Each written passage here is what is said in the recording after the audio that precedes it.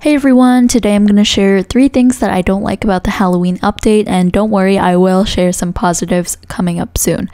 But the first thing that I do not like about the update is that we have to unlock all the portals with soul shards. So you would have to go to at least 10 tornadoes over the span of 10 different hours just to unlock one portal. It really demotivates me. The second thing I don't like is the lack of items on the haunted trail ride. I kid you not, I literally have 120 bones and like two jars. So the amount of things you find on the trail ride other than bones is pretty low.